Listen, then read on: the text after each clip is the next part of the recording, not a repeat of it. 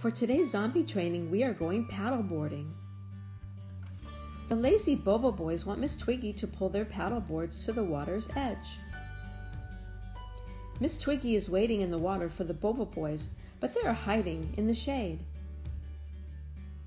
Miss Twiggy waits while Norman and Rupert have a late lunch. Those silly boys thought it was a paddle bird, so they got themselves a swan board. Norman hopes the fish aren't looking up his kilt. The paddle board is suddenly full of dogs. Something on dry land must have scared them. Miss Twiggy is stranded on her board. Those naughty Bovver boys have taken her paddle. Oh no, what a fashion disaster! Mother has forgotten an important item of clothing. Rupert made a big splash falling into the water. Oh, do stop shouting, Rupert.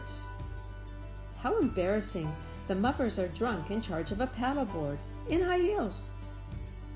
The Bovver boys take time out to eat some snacks. Those paddleboards make great tables. Norman, Rupert, and Miss Twiggy paddled into shark waters. They are now shark bait. These big waves have a soft spot for Miss Twiggy. They just swept her off her feet. Well, that paddleboard didn't just snap on its own. Who on earth could have broken that? Oh, my dog, the Muffers are paddleboarding in the buff. Cover your eyes. The Bovver boys and Miss Twiggy find the paddle pub. Noggy eggs all around. In honor of Miss Twiggy becoming a zombie squad medic, she and the boys sport medical fashion from the house of Twiggy Couture. Did you press the like and subscribe buttons yet?